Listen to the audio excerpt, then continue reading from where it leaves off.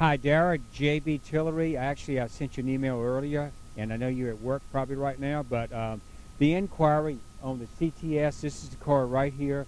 It's black. It's got the tan leather interior. It's got the um, sunroof in it. Um, looks like it's got the heated seats. Uh, it's a real clean car. Um, it's a great, great value on it. Just, uh, I know you're down in somewhere in South Carolina, but uh, just shoot me an email back uh, when you think you can come up. Um, and I'll look forward to hearing from you. And I'm actually here tonight till about 8.30. Thanks very much.